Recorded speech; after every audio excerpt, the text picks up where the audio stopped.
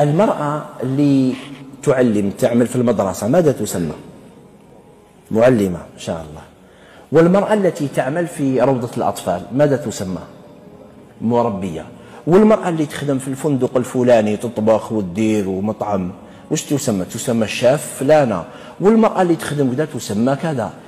جينا للمرأة داخل البيت حتى وكانت كانت عاملة لكن جينا للمرأة داخل البيت ولقيناها باللي هي اللي راهي تعلم وهي اللي راهي تربي وهي اللي راهي تطبخ واللي راهي تنظف وهي التي تدير الجانب المادي في البيت.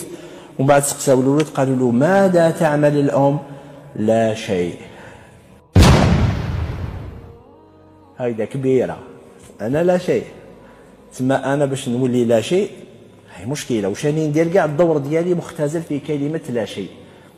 فتصبح المرأة الآن تعاني من هذه العقدة. زعما شغل أنت يا قري واش راكي ديري وذلك بأن تجعل المرأة تخجل من كونها ربة بيت.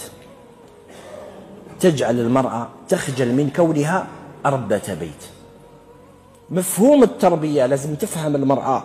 ديري واش راكي ديري؟ ما تهمناش ماناش نحكوا على عمل المرأة كما نحكوا على دور المرأة في البيت.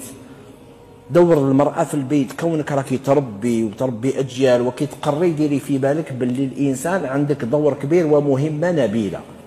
أنت تقومين بها.